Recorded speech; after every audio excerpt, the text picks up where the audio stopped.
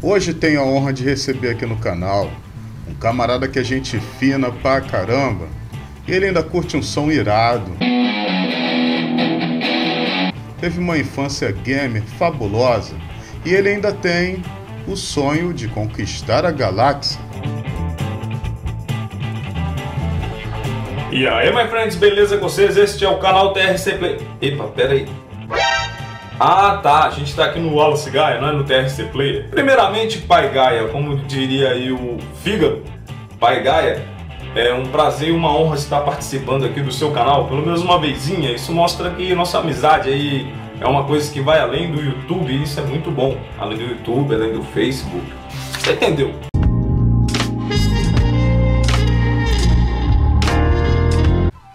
Tiago, sabe o que, que acontece? Um belo dia eu tava escutando a música do Bezerra da Silva, aquela que fala assim: Quer falar com o pai velho? Vem agora. Aí eu, de tanto escutar aquela música durante o dia, à noite fui gravar o meu vlog e inventei de, durante o vídeo, falar a seguinte frase: Vem com o pai Gaia. Foi daí que Fígaro nunca mais parou de me zoar com essa história de pai velho, de pai Gaia. Só que daí, né, os deuses do YouTube sempre estão punindo o Fígaro. Sempre tem hate entrando lá nos comentários dele para arrumar sequela com o Fígaro. Isso partiu depois que o Fígaro, depois que ele começou a me chamar de Pai Gaia sempre. Mas Thiago, deixa Fígaro para outra ocasião. Vamos falar de TRC Player, que é um canal top pra caraca que eu me amarro. Fala pra gente aí do universo de Gaia aí. Da onde você tirou essa ideia, meu mano? De onde surgiu essa inspiração? Para criar um canal tão fabuloso assim, tão magnífico? Conta aí pra galera aí. Bom, então o canal TRC Player começou é, de um dia que eu estava assistindo é, vídeos no YouTube, eu estava procurando o anime do Street Fighter Victory no YouTube para poder ver. Só que eu achei mais ou menos, mas quis procurar um pouco mais. Aí eu acabei caindo no canal do Velberan e vendo a história do Street Fighter. Tinha uns vídeos dele lá sobre a história do Street Fighter e eu fiquei encantado, assim. Cara, eu não fazia ideia de que no YouTube tinha canais, tá? Canais assim. Eu sempre pensei o quão interessante seria se houvesse alguém que tivesse esse tipo de conteúdo, mas até aquele momento eu não imaginava que isso existia, velho. Uma vergonha. Mas eu era meio tiozão, assim, pra, pra me movimentar na internet, eu era um cara muito tiozão porque eu tive uma banda por muito tempo e minha vida praticamente, é, meu, meus hobbies praticamente giravam em torno da banda. Então eu usava o YouTube pra ver música, alguma coisa assim, tá ligado? Alguma coisa nesse sentido do rock and roll. E foi uma surpresa muito grande descobrir que tinha canais. Isso faz pouco tempo, cara, que eu descobri isso praticamente um pouco antes de eu começar o TRC Player. O que me motivou a começar um canal foi o seguinte, tipo, em nenhum momento eu achei que eu teria capacidade, mas eu resolvi tentar e ver no que dava. É, alguns games eu procurava vídeos sobre, né, do através do canal do Velberão eu fui conhecendo outros canais, eu procurava outros games, né, é, review de outros games e eu acabava, alguns eu encontrava e outros não. Então eu pensei assim, pô, podia eu fazer o review desses games que eu queria ver, tá ligado? E eu não tô achando. Foi daí que surgiu a ideia de fazer o canal TRC Player. Mas Tiagão, esclarece agora uma dúvida que eu sempre tenho aqui com todo mundo que está começando um canal. Você teve influência de alguém para começar? Tipo, incentivo da namorada, de algum familiar ou daquele brother da jogatina ou do rock and roll, alguém te incentivou a dar o pontapé inicial? Fala pra gente. Olha, incentivo é complicado dizer. Tipo assim, quando eu falava para as pessoas que eu tava pensando em fazer, o pessoal falava meio da boca para fora, é isso, faz, mas só que não, nunca foi aquele incentivo, a não ser por uma pessoa o Maximus Aragão, um amigo meu, Cleo. Tipo, o meu primeiro planejamento era ficar tentando fazer vários vídeos até eu ver que eu fiz um bacana, para depois jogar no canal. Por isso que meu canal tem uma, uma diferença, assim, do tempo que eu abri ele até o momento que eu postei o primeiro vídeo, porque eu ficava naquela tentativa e erro, tentativa e erro. Eu só postei aquele primeiro vídeo, eu só upei ele, porque esse meu amigo, Cleo, o Max Maragão, ele me falou assim, ó, cara, você devia botar esse vídeo no ar e ver o feedback da galera, o que, que a galera vai falar que você tá fazendo de errado, o que, que você tá fazendo certo, o que, que você tem que manter, o que, que você não pode manter, só assim para você saber se o vídeo vai ficar bom ou não.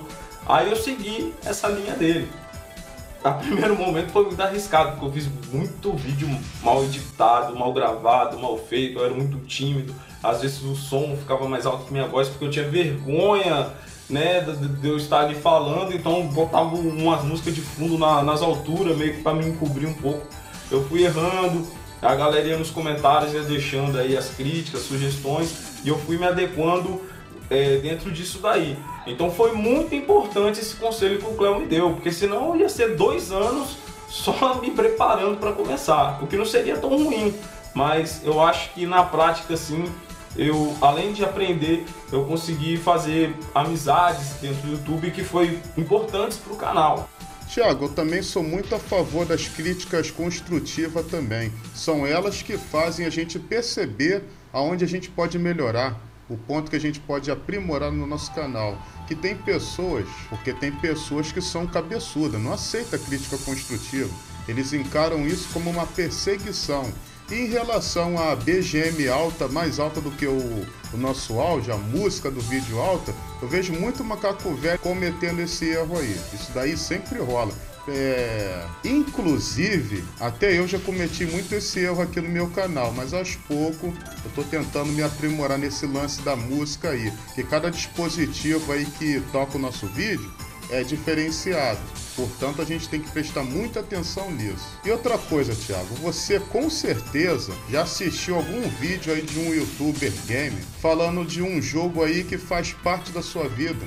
E você já se imaginou ali no lugar daquele youtuber famoso ali, um Velber da, da vida, um tio zangado, você ali falando do jogo que você gosta ali como se você fosse ele. Você já se imaginou assim? Por exemplo, eu já me imaginei assim. Eu sou muito fã da trilogia Tomb Raider, sempre gostei. Já falei contigo isso daqui na outra entrevista, no outro collab que nós fizemos no seu canal. O que me incentivou a ter um dia um canal assim, que eu estivesse falando de gamer, foi um review que o tio Zangado fez sobre Tomb Raider. Então fala pra gente aí, se você teve alguma experiência dessa e como ela foi. Com certeza, my friends, com certeza. Quando eu vi esse vídeo mesmo do Velberan falando de Street Fighter, cara, eu me vi ali falando, porque toda aquela empolgação que ele passava no vídeo era o que eu sentia pela franquia Street Fighter. Então, eu me enxerguei ali falando naquele momento. Apesar que eu não manjava muita coisa que ele falou, mas isso aí depois a gente descobre, né? Fazendo pesquisas e tal. Tiagão, tem uma dúvida que eu particularmente sempre tive a vontade de perguntar. E acredito que muitas outras pessoas que observam easter eggs escondido também já tiveram essa vontade. O que está associado à sua intro do seu canal? A aparição do Pelé ali. Por quê? O Pelé aparece naquela intro. E você é fã do Pelé? Ele é um ídolo seu ou foi quando você era um kid? Explica pra gente aí, por que a aparição do Pelé nas suas intros? Sobre o Pelé na intro, beleza. É, é uma história que tem algumas partes e algumas particularidades. É, na locadora, uma das locadoras que mais marcaram a minha infância era a Show Video, porque lá eu praticamente assim, eu ia lá jogar Mega Drive, porque eu tinha o Super Nintendo em casa, e nessa locadora alugava fita de videogame, alugava fitas cassetes.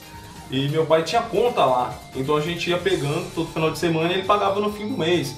Então eu era muito chegado do dono e tudo mais. Meu Super Nintendo foi comprado lá, num consórcio de lá. E os caras ficavam zoando lá que meu pai parecia o Pelé, apesar que eu nunca achei ele parecido com o Pelé, mas o pessoal zoava falando que ele parecia. Então o dono da, da locadora, quando eu chegava, ele ficava zoando, né? Ficava falando, é, o pessoal na época me chamava de Tiagão, porque eu era muito grande e gordo pro, pro um garoto da minha idade, então eu era o Tiagão, né? Tinha um milhão de Tiago na, na cidade, eu era o Tiagão. Aí, quando eu entrava, o dono da locadora falava, chegou o Tiagão, entende? Aí toda vez era a mesma coisa, eu entrava, chegou o Tiagão, entende? E aí, Tiagão, vai levar o que hoje? Aí, vou levar Aladim, Aladim, vai jogar muito Aladim, entende? Aí ficou nesse negócio. E uma coisa que eu queria muito ter no canal, uma, eu queria ter uma vinhetazinha, uma intro. Eu sempre quis ter isso, não sei porquê, cara. Mas eu sempre quis ter. E eu tentei várias e várias e várias até chegar na atual, que é a menos pior de todos, por isso que eu estou usando há tanto tempo. Só que em algum momento eu lembrei disso, dessa história do Pelé nessa locadora, né? Que afinal de contas tem a ver com o canal, a minha história nessa locadora, eu trouxe pro canal. Então eu lembrei disso e lembrei que o Pelé tinha feito uma propaganda da Atari, de um game de futebol. Aí eu peguei, né? Fiz essa dublagem, é, você play, entende? E botei no, no, no, vídeo do Pelé falando do game do Atari lá. Ficou meio tosquinha. Aí depois de um tempo eu tirei ela. Quando eu tirei, um inscrito meu, o Hernani, ele perguntou, ah, cadê a, a vinheta do Pelé? Aí eu voltei com ela. Quando eu fiz essa vinheta nova, do espaço, vindo o canal TRC Play com o logo da Nintendo, eu falei, não, vou jogar o Pelé aqui de novo para ninguém ficar perguntando cadê o Pelé, né? Afinal de contas, o Pelé é importante no canal, porque ele é meu pai. Resumindo, tudo está associado à vida gamer de quando o Tiagão era um kid. o interessante é que nós, quando criamos canal, fazemos uma logo, um banner, uma intro, até uma vinheta que nós fazemos, sempre está relacionado a algo, algo assim que nasce do nada. É igual quando eu comentei no início aí de eu ter falado vem com o pai Gaia, vem com o pai velho, aquilo ali virou um símbolo, assim como esse chapéu que eu uso também. Às vezes eu gravo aí é, com outro chapéu, tem inscrito meu que reclama, pô, aquilo ali é a sua marca registrada, compadre. Você não pode gravar sem aquele chapéu. Você é o pai Gaia. Mas, Thiago, fala pra gente aí. Além dos vídeos que você faz, há algo que você pretende estar mostrando no canal também? Eu sei que você já tocou numa banda aí. Eu fiquei sabendo por altos aí que, que tu já andou com a galera rock and roll aí. Então queria saber, você ainda tem essa banda ainda e pretende estar divulgando ela aqui no seu canal também? Conta pra gente. Com certeza, se eu ainda estivesse tocando numa banda, com certeza eu ia fazer um canal para ela e ia postar o dia a dia da banda, ensaio, é, evento que fosse tocar, com certeza eu faria, mas ultimamente eu tô sem tempo para correr atrás de banda e eu tô morando em Salvador agora, não tenho muitos amigos aqui, os poucos que eu tenho assim que tocam é, são pessoas difíceis, a disponibilidade dos caras.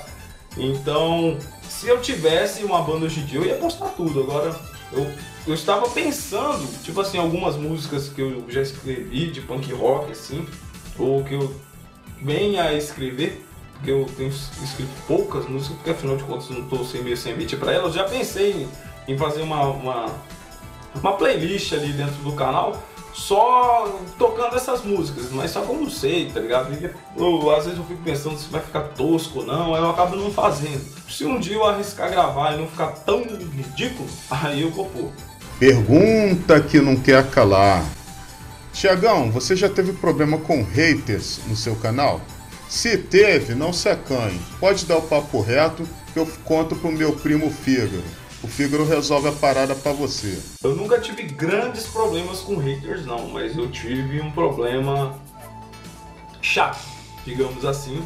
Mas só foi meio que específico, foi meio que pontual. Não foi aquela encheção de saco no meu canal, pelo menos eu não tenho acompanhado essa parte. Eu tinha feito um vídeo pro, de Halloween com tema de games para Halloween do Super Nintendo.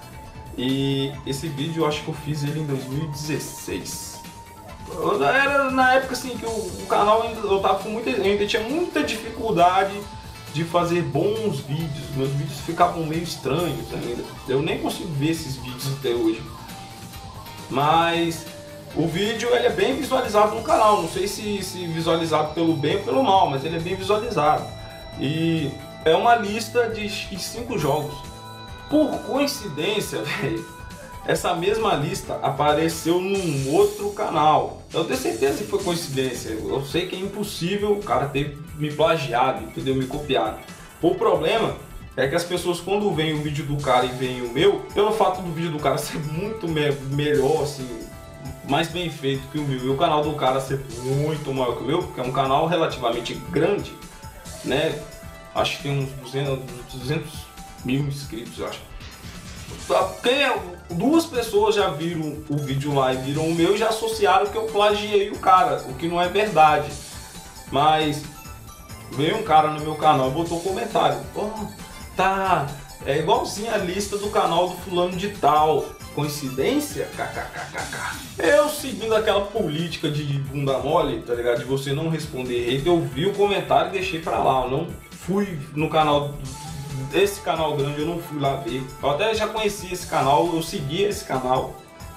Não tô seguindo mais, porque realmente eu tenho visto muito pouco. E eu não quero ser só um número ali e tal. Eu tenho visto muito pouco o canal dele porque eu acompanho muitos canais, tá ligado? Eu tento acompanhar todos os canais da galera que, que veio até o meu e pediu. Mas não tem nada a ver com esse fato, o fato de eu não seguir o cara mais. Tem outros canais que eu também que eu não sigo que não tem nada, nunca tive problema.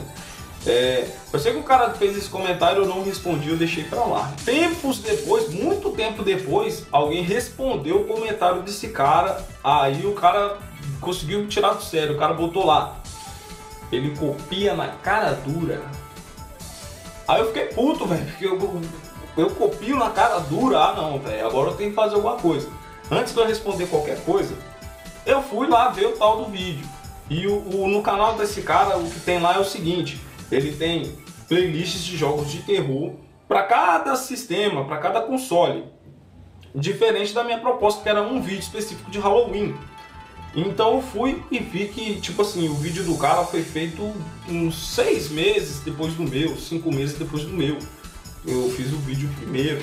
E aí o que, que eu fiz? Eu fui lá e respondi lá dentro da, da resposta do comentário dos malucos, eu botei lá, falei, pô, eu não vou entrar nesse mérito de, de quem copiou quem, porque eu tenho certeza que o fulano do canal tal não me copiou. Eu não, também não sei dizer o motivo das listas serem iguais. Mas vocês repararam que o meu vídeo é da data tal e o dele é da data tal, que o dele veio depois. Bicho, é engraçado que os caras eles nunca admitem que estão errados. O cara teve a, a pachorra de responder o seguinte: Você foi no futuro, copiou a lista do cara e fez no seu canal. Brinks. Que brinks o que, meu irmão? Ah, você acha que se eu fosse no futuro eu ia copiar uma lista de um canal? Eu ia copiar o resultado da Mega Sena, velho. Fala sério, não pode, porra.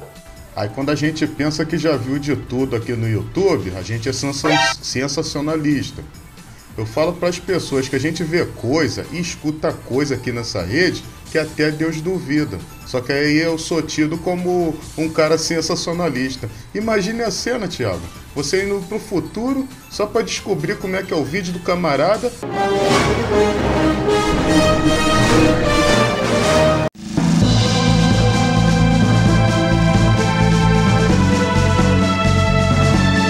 Pra você postar ali.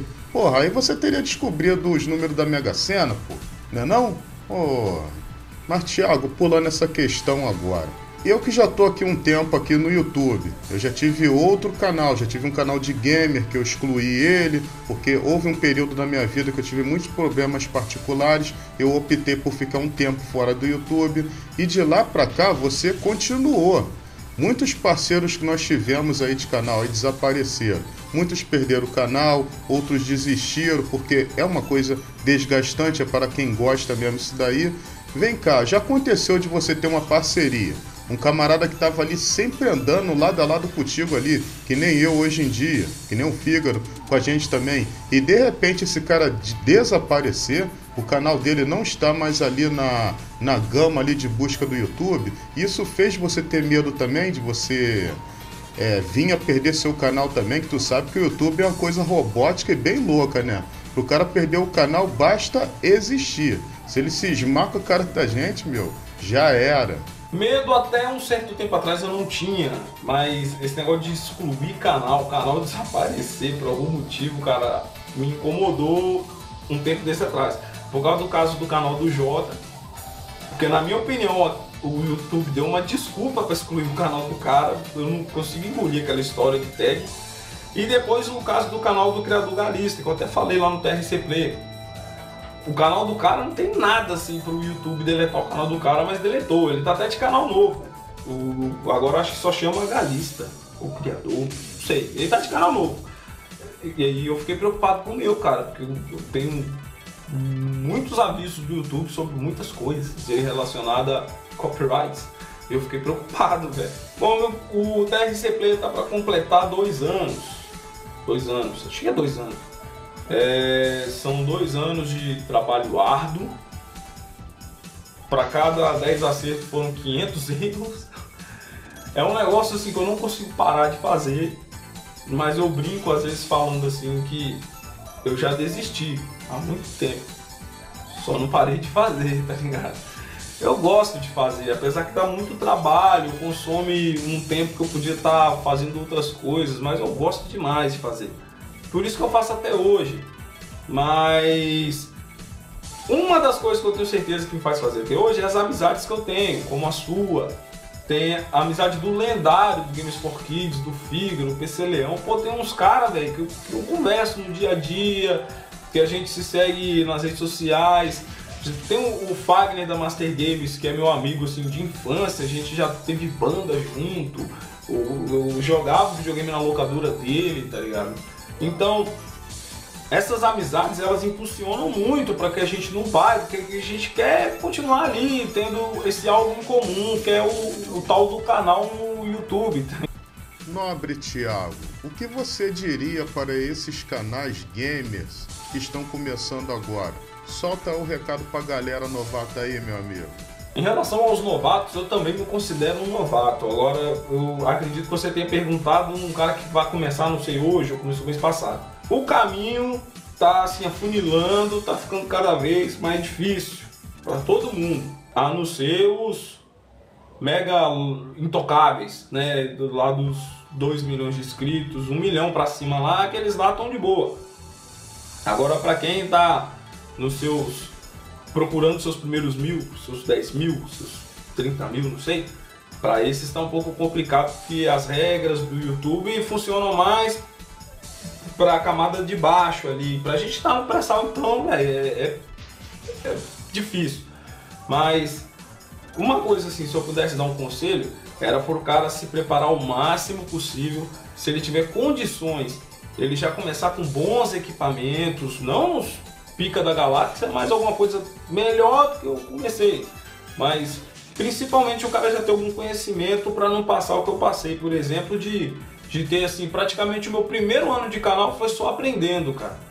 Eu até pretendo futuramente até tirar esses vídeos, tá ligado? Do, do canal, porque os vídeos acabam me queimando, tá ligado? Quem chega no meu canal nesse primeiro e vê os vídeos do primeiro ano, fica meio assim desapontado, tá ligado? Porque eu fico. Então, se o cara vai começar agora, tenta eh, começar com uma basezinha. Pelo menos, assim, claro que não vai começar como profissional, mas começar assim, com uma base já para fazer um, um negócio legal já de início. Seria um conselho. Tiago, e sobre essas novas regras agora do YouTube aí? Você vê pontos positivos nisso ou você vê pontos negativos?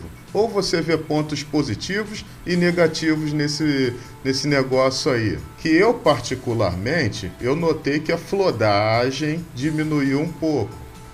E você? O que, que você achou, cara? Por incrível que pareça, esse negócio aí de ter acabado com a monetização dos canais pequenos, eu consegui ver o copo meio cheio. Eu, eu, eu tento procurar um jeito assim de falar isso sem parecer um, um filho da mãe, tá Mas é uma realidade. Como eu vou falar isso sem parecer um grandíssimo filho da puta, lá.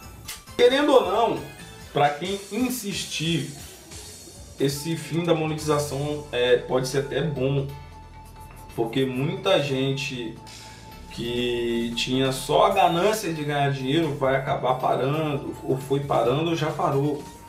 Então, para quem está querendo aparecer com um trabalho legal antes do dinheiro, pode ser que as chances dele ser visto aumentem, porque vai ter menos gente ali da camada do pré-sal lutando por um lugarzinho para subir nessa pirâmide social do YouTube.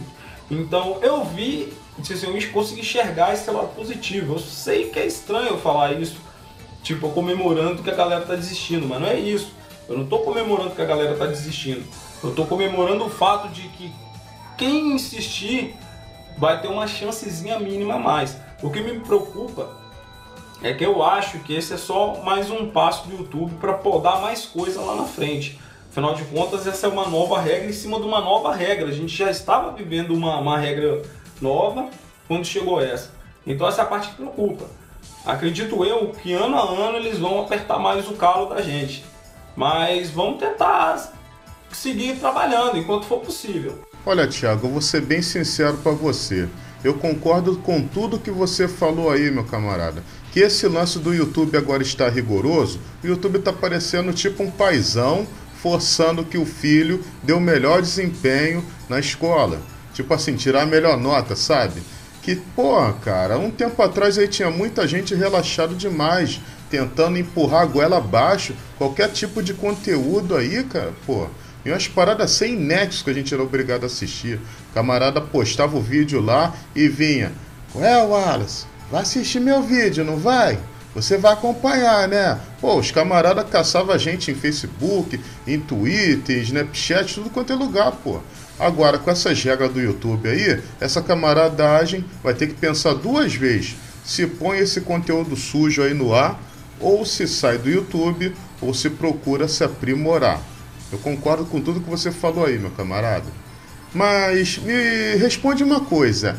E se você pudesse criar uma nova regra do YouTube? Se você pudesse mandar uma carta hoje para o YouTube e se ele aceitasse sua ideia. Que ideia seria essa, hein, Thiago? Que você daria ao YouTube, hein? Fala para mim. Uma regra que eu pudesse, eu não seria nem inventar uma regra, era só botar lá na prática. Todo mundo que é seu inscrito receba suas notificações. Pronto. Tá feito. Tiago, nós sabemos que os canais de games de hoje em dia estão divididos em duas espécies. Nós temos o canal gamer objetivo, voltado à galera que curte reviews e detonados. Mas também nós temos o canal gamer engraçadinho e fofinho, voltado à galera que gosta de humor. Este, por sua vez, tem ganhado um grande público hoje em dia, mas não tem agradado a galera retrô, a galera da raiz. Eu particularmente eu curto os dois, sendo que eu prefiro de reviews. No caso seu, quando você faz aquelas reviews, pô, me amarro. Mas e já no seu caso?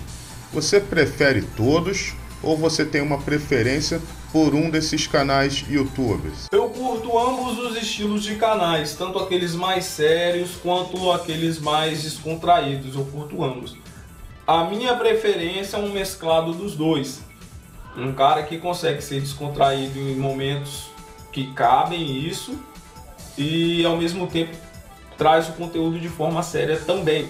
Quem faz isso muito bem é um canal que não é gigante, mas é muito bom, que é o, não sei se você conhece, que é o Caps Lock o canal do Araújo. Ele sabe fazer isso muito bem. Ele tá sempre trazendo um assunto sério, falando sério e consegue colocar umas pitadas de humor ali. Eu acho isso bem interessante, bem bacana. Se eu não me engano, eu conheci esse canal através do Lex Rock. Agora chegou a pergunta que eu tanto queria te fazer, meu amigo. Eu gostaria de saber de você qual o seu jogo preferido qual aquele jogo que você mais gosta nos momentos que não está gravando, que não está passeando com a família? Qual é aquele jogo que marcou a sua vida, marcou a sua infância? Fala pra mim aí. Um game que eu mais gosto de jogar nos tempos vagos. É difícil falar um game porque eu jogo um milhão de games, um atrás do outro. Porque como eu falei, meu tempo tá muito escasso, cara, tá muito escasso. Então, eu pego um jogo, jogo ele até o final, sem platinar, sem nada. Quando eu terminei ali já a campanha do game, eu já passo pro outro, porque senão, velho, eu, se eu ficar só num game, até platinar ele, não sei o que, eu só vou jogar uma coisa o ano inteiro, porque é muito espaçado o tempo que eu passo de um jogo pro outro. É, eu tô jogando um ali que já deve ter quase um mês. Eu, eu joguei ele a primeira vez essa semana hoje, tá ligado? E hoje é sexta-feira.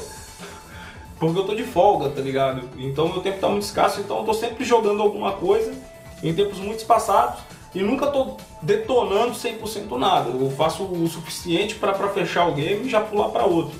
Então tá muito variado. No momento, eu tenho jogado bastante Street Fighter V.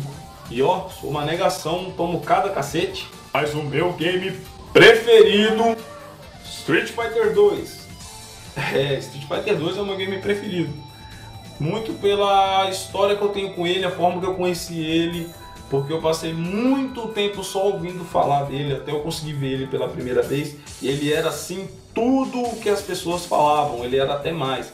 Para mim é um game revolucionário, lendário e para sempre. Street Fighter 2 para mim sempre vai ser um game para sempre, para sempre Street Fighter 2.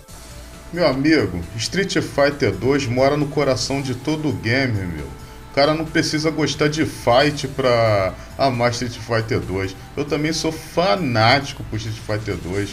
Eu já presenciei o Game Master casando incontáveis vezes já. que eu joguei esse game aí disputando o recorde com os brother aqui da área aqui. Entendeu?